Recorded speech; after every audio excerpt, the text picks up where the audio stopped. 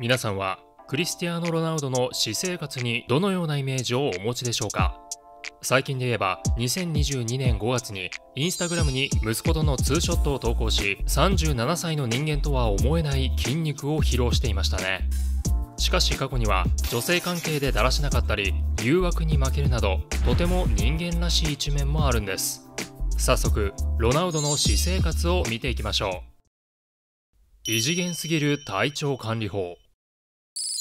ロナウドは37歳になった今でもトップリーグで試合に出場して結果を残し続けていますよね。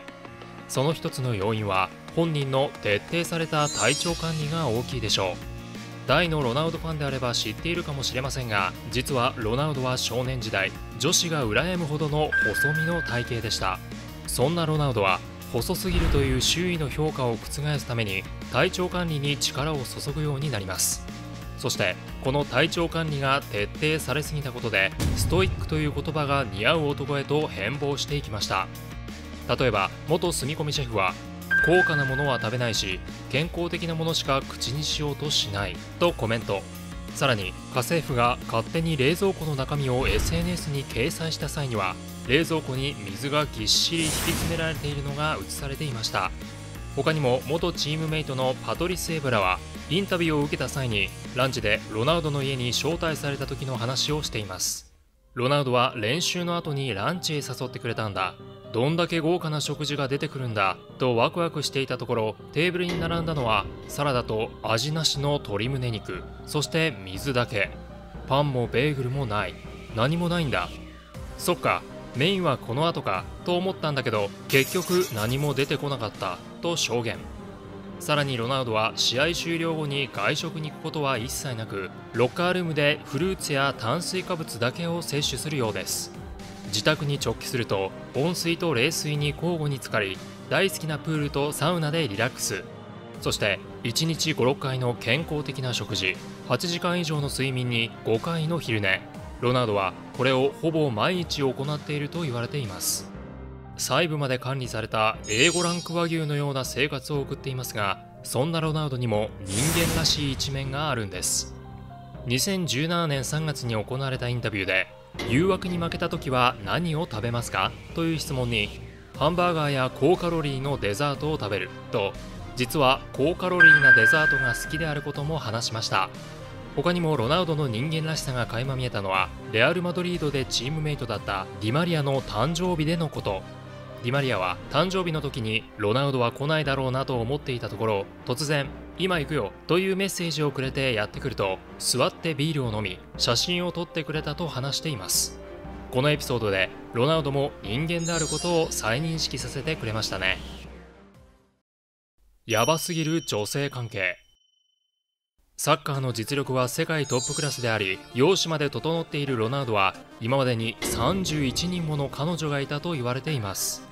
過去の彼女や遊び相手として報じられたのはポルトガル人であれば誰もが知っている有名な女性が多く夜のストライカーとして報じられていました。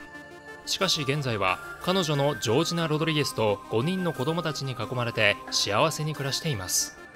これまでロナウドは様々な女性と交際しながらも結婚してきませんでしたがジョージナ・ロドリゲスとはいつか結婚することは間違いないよとインタビューで答えていて結婚指輪も渡しているようです。そんな順風満帆に見えた2人に水を差すような出来事が起こりました。ポルトガル人モデルのナターシャ・ロドリゲスがロナウドと2015年に2ヶ月ほどメッセージのやり取りをした後アパートで一緒に寝たと主張。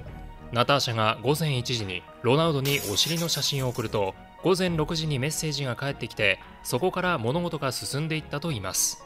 ロナウドはとても親切で甘くナターシャに対して一人で家にいるかのようにリラックスするように言ったようです。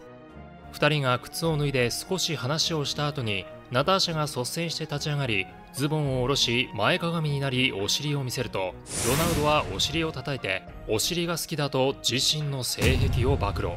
しかし2017年3月2人が一緒に寝た後ロナウドがナターシャに「楽しかったです。いつかまた会おう。トップシークレットでお願いします」と遊びを覚えた大学生のようなメッセージを送ると急に音信不通になってしまいます。この一連の流れにナターシャはジョージナも同じ目に遭う可能性があると話していました。ロナウドは他のモデルとも一夜の関係を持った後に音信不通になったことが報じられることがありこの汚いやり方が日常茶飯事なのかと思われてしまいますよね。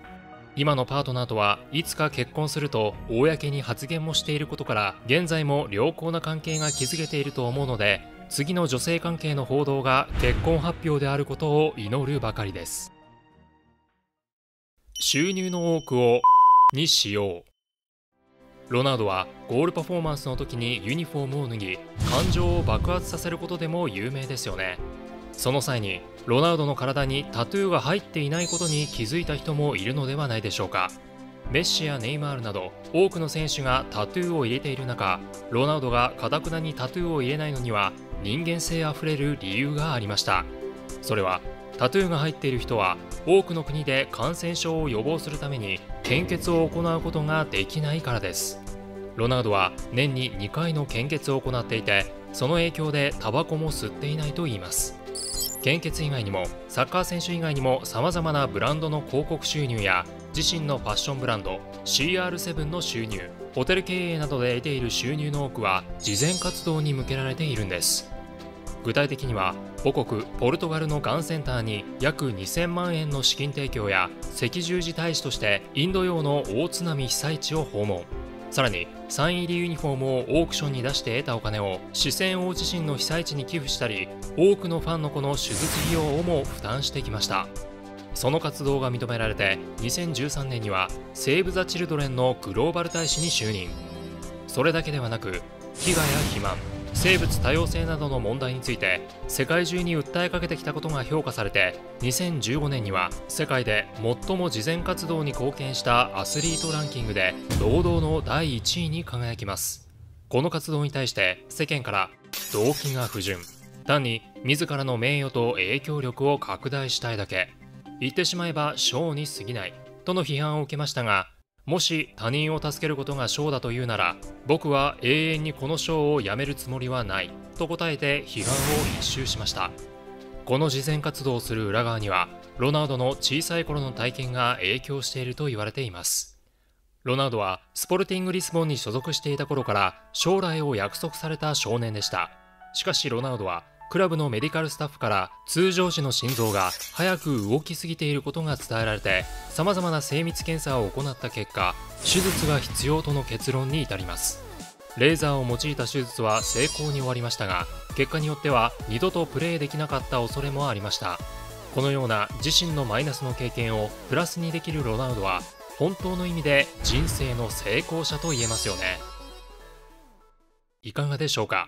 選手としてストイックなロナウドの私生活は良くも悪くも人間味にあふれているということがよく分かりましたね。他にも皆さんが知っているロナウドの私生活に関するエピソードがあればぜひコメントで教えてください。それではまた次回の動画でお会いしましょう。